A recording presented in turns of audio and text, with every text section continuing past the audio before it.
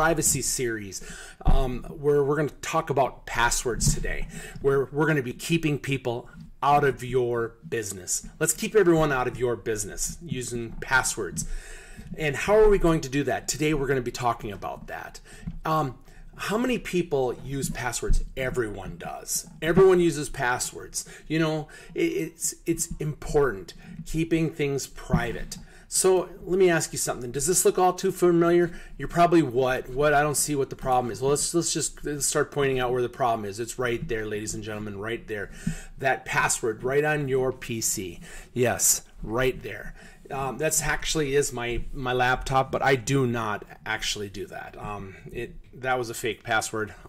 Um, um honestly, I don't keep my passwords like that. I um, don't do that. That's that's something I, actually saw on uh, through a lecture in one of my classes. He actually went to a seminar where he was getting his checked in at the seminar, and someone actually did that where they had their password written down right on their laptop, and he snapped a photo of it. And during his lecture that he gave, he was a keynote speaker. He posted that up on his lecture for everyone to see. He was actually not invited back to that that series again.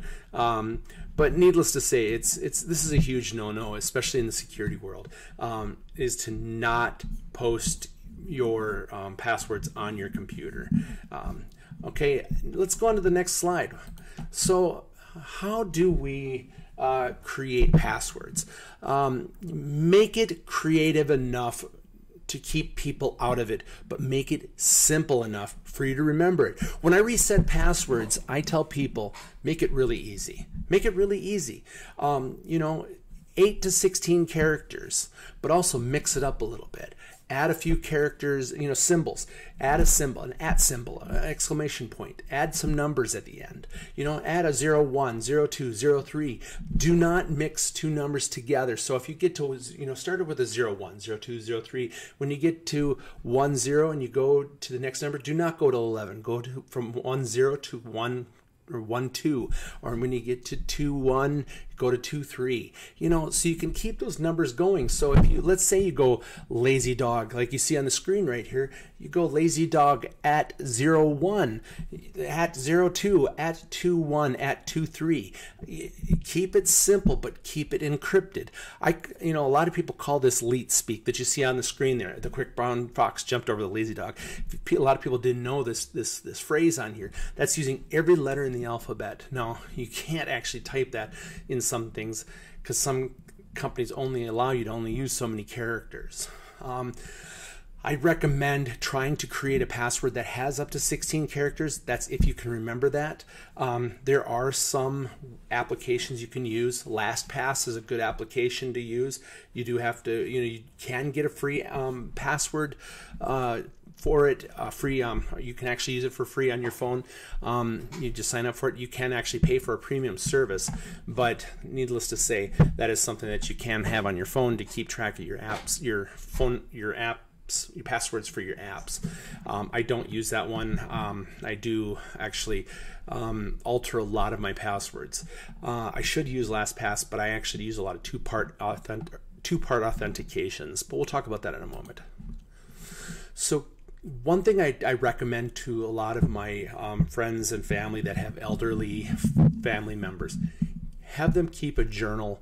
Uh, if there's like a blank page in an old older book that you know they have in their library keep some passwords written down in the back of a book and tuck it into their library um, you know in, in their in their bookshelf. Keep it hidden. Keep it out of sight. Keep it but do not keep it on a computer because if computers if their computer gets hacked that can compromise their password system.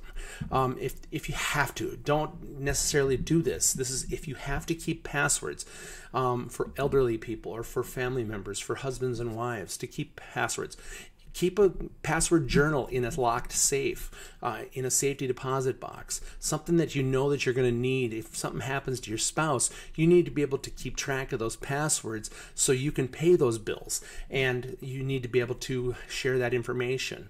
Um, keep it in a locked safe um, that you are able to go in and access those accounts that it's a fail safe. This is perfectly acceptable but do not share those that information or where that the whereabouts of this journal um, is because if someone breaks into your house and knows where that journal is you're you're hosed um, but do not keep it on your computer. I've I've seen when I did work on people's computers, I've seen them keep passwords on their computer. Um, not a good idea. You know, it's it's especially important for you to keep passwords. If you have to write them down, keep them encrypted somehow.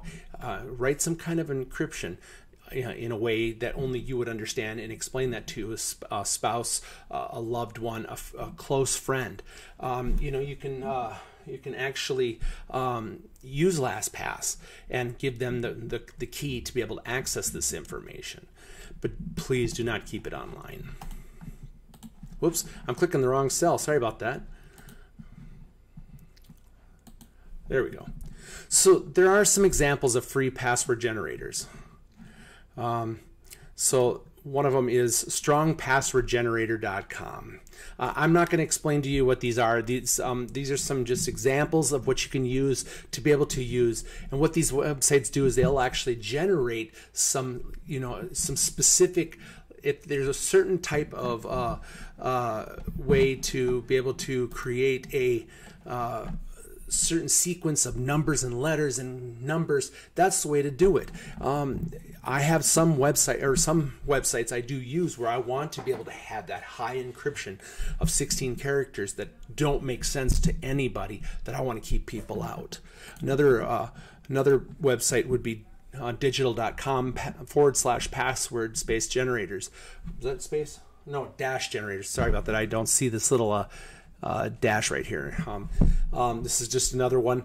Uh, and they give you certain criteria where you can put those symbols in there. Um, these are great websites to be able to use to be able to create passwords, to be able to help people set up certain encrypted passwords. One other one is coolgenerator.com. One thing I used to recommend is people use three word passwords. And I read an article recently where um, those aren't exactly the best ideas because hackers can actually crack those things in, in less time through the use of algorithms. And that you can actually research this online that they're using algorithms to be able to crack these passwords. So if you're going to use three words, make sure you throw in a number in between some of those. You know, replace the E's with a three and a A's with a four to be able to throw those hackers off, um, and an O with a zero. It'll throw off that curve, you know, throw off that variable. Um, that's what I, I've done in the past, and it, and it, increases the odds of them not getting into your accounts. Um, so, but these types of website password generators will help you. A few last things replace your passwords often. They highly recommend you replace your passwords about every 90 days. A lot of companies enforce this. Every 90 days, you have to replace your password. A lot of companies put this into their business um, system to where every 90 days you have to replace your password. The company I work for, the moment you you hit 90.01 days, it kicks you out of the system and you have to replace your password. I highly recommend setting up a two factor authentication. Uh, I use it for my Twitch account, I use it for work. Uh, I have to use it for work to get into my, my um, to a couple of my accounts. Um, it's it's nice because I get a text. It, it helps me with my Google accounts, keeps those hackers out. Google especially. I don't want. I get calls once in a while saying someone from China is trying to get into my accounts. I, have a VPN. Yes, when it says someone's from from Czechoslovakia is trying to get in, yeah, that's me because I, I will sometimes use European v, VPNs to access my accounts if it's if it's a particular um, you, um, IP address that I'm using. Yes, I know it's me, but when I use the two part authentication, I'll know it's me because I verify my VPN. I verify that that's the IP address that I'm using, and I'll let myself go in.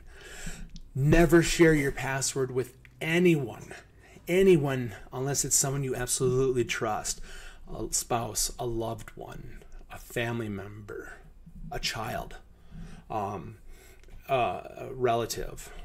And one last thing Employees from a company will never email you or call you asking you for your password. They will never call you. Um, I've, I've t- always told this to my my employees that I've worked working in IT for the last several years. I've never asked them for their password. I don't care what their password is.